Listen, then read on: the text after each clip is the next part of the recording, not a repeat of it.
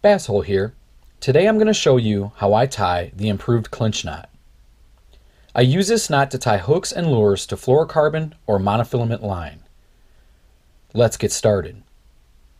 Take the line and go through the hook eye, pulling out about 8 to 10 inches of tag, leaving your index finger above the hook eye.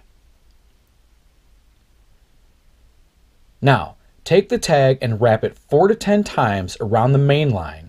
Find what works best for you.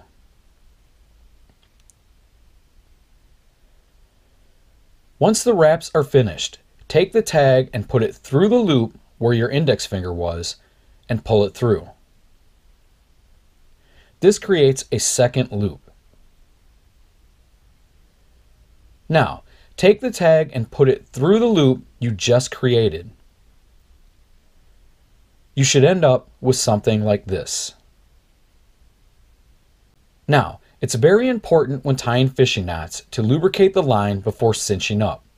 The reason is friction could cause line burn and weaken or damage the line. So always lubricate your knots. The best way is to run the knot through your mouth and use saliva. After the line has been lubricated, it's time to cinch up the knot.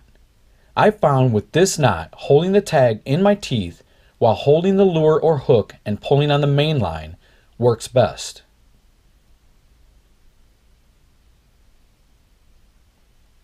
After cinching up using your teeth, you may need to cinch up a bit more using your thumb and index finger pinching just above the knot while pulling on the main line until the knot is nice and tight. Repeat if necessary. Now, trim the tag a little less than a quarter inch.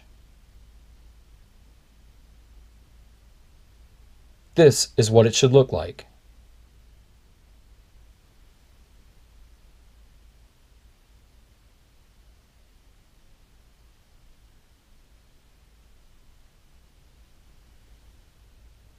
You just learned how I tie the improved clinch knot. Thanks for watching and as always, fish on.